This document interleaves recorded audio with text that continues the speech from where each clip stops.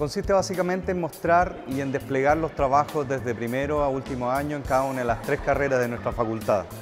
Por lo tanto, lo que nos vamos a encontrar son trabajos que tienen que ver con los primeros encargos, es decir, cuando los alumnos se enfrentan a las distintas disciplinas, pero conforme pasa el tiempo vamos a darnos cuenta que hay obras cada vez más complejas, producto también de la propia incorporación también del alumno en aquellas disciplinas.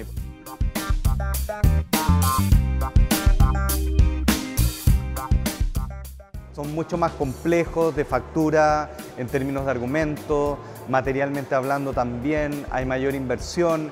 En algunos casos también nos encontramos con piezas que son un desafío, es decir, ya no solo están al interior de un encargo de la universidad, sino que también se, se insinúan como obras autónomas. Este año decidimos juntar las tres carreras porque creíamos que, el impacto iba a ser mucho mayor y nos permite también reconocer las cosas que se hacen en la facultad y no ensimismarnos tampoco en lo que pasa en cada escuela.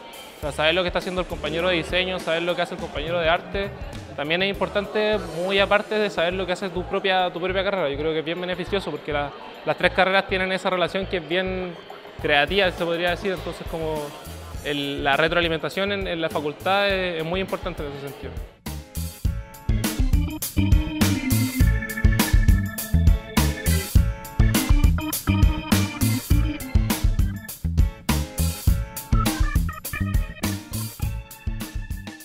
Esto es clave, clave por varias razones. La primera es porque es una iniciativa básicamente de los estudiantes que los obliga a organizarse, los obliga a inventar una estrategia que permita convocarlo y les da una misión sustancial al interior de la familia académica de la facultad.